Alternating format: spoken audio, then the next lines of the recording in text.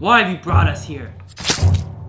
I didn't bring you here. He did. What? One of you gets to live. One of you gets to die. Hand me the knife. Let's go. Catch me if you can. I'm the green hooded man.